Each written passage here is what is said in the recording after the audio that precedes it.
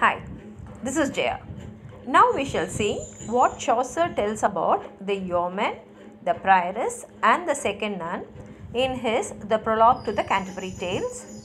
Come, let's go to the tales. Chaucer writes, A yeoman had he, and servant no more.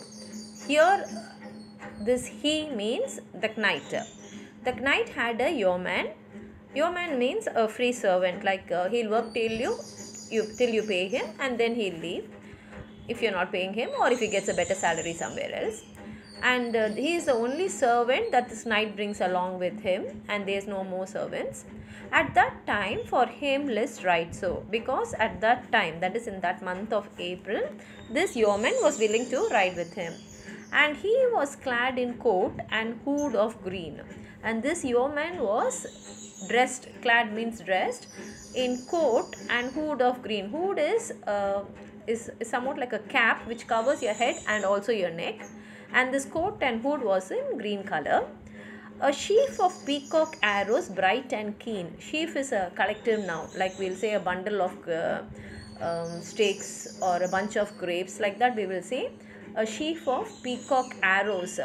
These peacock plumes, when they are collected together, we'll call them sheaf. And here he had these peacock arrows, which were bright and clean. Under his belt, he bare them thriftily, and these uh, peacock uh, arrows, he uh, had tied them with his belt in a very perfect manner. Well could he dress his taken Emily. So, how all these humans will do they uh, keep their equipments properly? In the same manner, even he was uh, carrying these uh, equipments, equipments, all the weapons very perfectly, like how a yeoman should do. His arrows drooped not with feathers low, and his arrows all were really stiff. They were not drooping. The peacock feathers were not drooping down. And in his hand, he bore a mighty bow. So if he's going to have arrows, naturally he's going to have even a bow to shoot them. And in his hand, he was wearing a mighty bow. The bow was really very big. And not he had he with a brown visage, and uh, his head, and not he had he.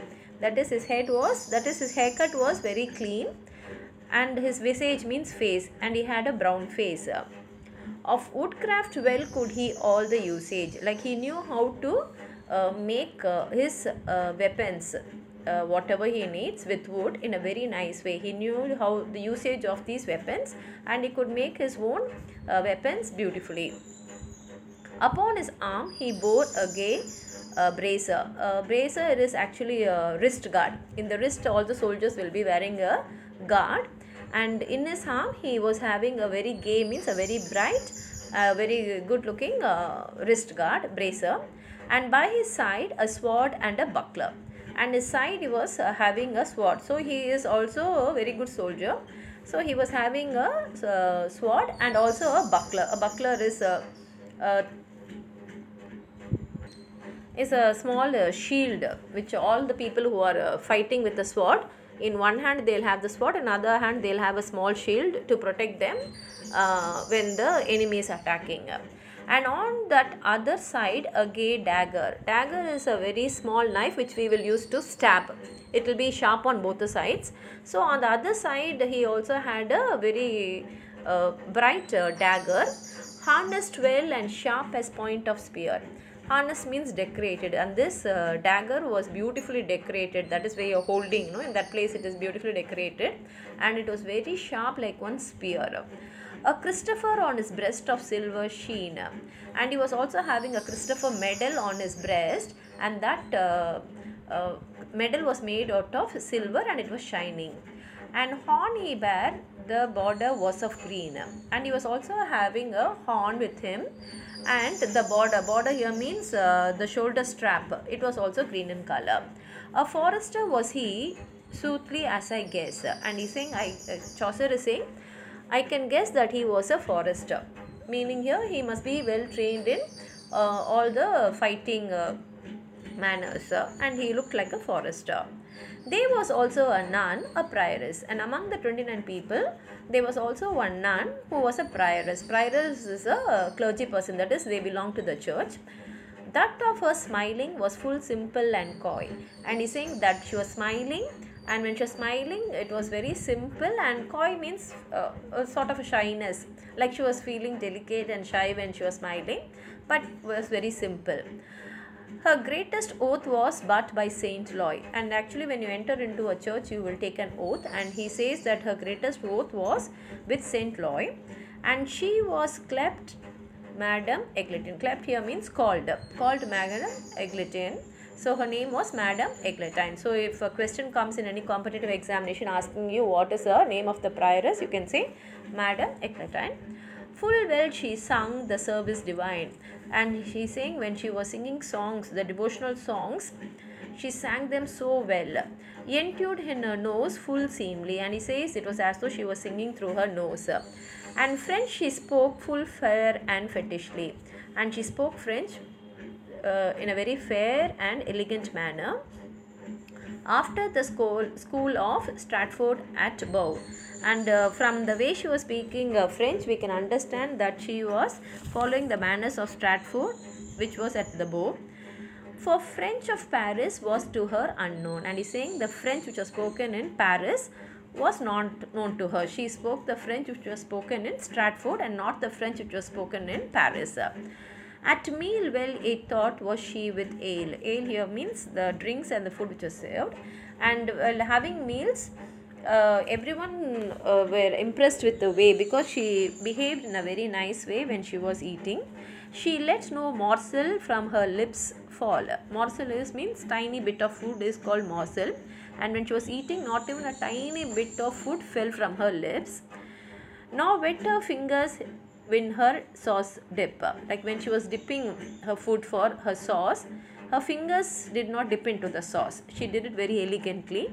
Well could she carry a morsel and well keep. Like when she was eating, she was able to take even a tiny bit of food to her mouth directly, that no drop no fill fell upon her breast. Such a way that when she was eating, not even a small drop fell on her breast. In courtesy was set full much her list. Like she was very particular about her courtesies and she was very happy about the way she carried herself. Her over lip wiped she so clean and when she was eating she cleaned her upper lip uh, clean. That in her cup there was no furthering scene of grease when she drank had drunken had her draught. So when she was drinking her draught, that is the soup which was given to her, she drank them full that nothing was left. Like she ate her meals full. She did not waste food. Full seemingly after her met she wrought. She reached for her meat in a very nice manner and surely she was great despot and her manners were surely very great. And full pleasant and amiable of port. And her uh, the way she behaved was very pleasant and amiable. And pained uh, and pained her to counterfeit cheer. And she took pains to maintain her manners of court and being established of manner. And she wanted in, uh, she behaved in such a way that she established herself as a mannered person. And to behold and dignity of reverence. Reverence means she behaved in such a way that everyone respected her. But for to spoken of her conscience. Now he's saying let me but let me speak about her conscience that is her moral sense. She was so charitable and so piteous. He's saying she was very charitable like she was considerate about others. And she was also piteous. She was taking pity on everyone that she would weep if that she saw a mouse caught in a trap if it were dead or bleed so he is saying she'll even weep if she sees a mouse caught in a trap whether it was dead or whether it was bleeding if it is caught in a trap itself she'll start bleeding I mean, sorry, she'll start, uh, start uh, weeping. Of small hounds had she that she fed with roasted flesh or milk and wastel bread. And she had small dogs with her, hounds means dogs, and that she fed them with roasted flesh or milk and wastel means white and white bread. But sure wept she if one of them were dead. And Chaucer says, surely she will weep if one of them were dead because if she's going to cry if a mouse is going to get uh, caught in a trap now she has her own dogs and she's feeding them with so much of affection So Chaucer says, surely she'll weep if one of them is going to die. That is the dogs. Or if men smart it with yard and smart. Or even if men are going to beat them with a yardstick. And all was conscience and tender heart. And she was full of conscience and of a tender heart. Full semely her wimple punched up. Uh, like um, wimple is uh, the dress which was wearing. Punched here means the pleating full seemingly means it was beautifully pleated. Her dress was beautifully pleated. Her nose treatise her nose was well formed beautiful beautiful and beautiful nose she had. Uh, eyes gray as glass and her eyes was uh, eyes were gray in color and they were shining like glass. Her mouth full small and they too soft and red and her mouth was small.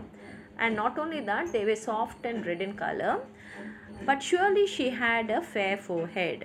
And a fair and the forehead was also fair.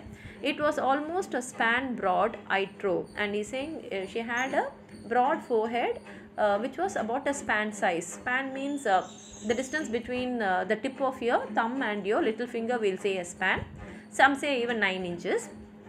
So here he's saying her forehead was a span broad for hardly she was not undergrown. So he's saying she is not a undergrown, not a very young uh, girl. Full fetis was a cloak. Cloak is the dress which they wear, as I was aware. And he's saying her cloak was very neat and clean, very nice, elegant. Of small coral about her arm she bare.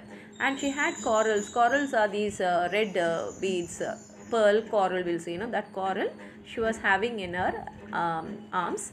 A pair of beads guarded with uh, all with green. And the corals also had green color beads along with them.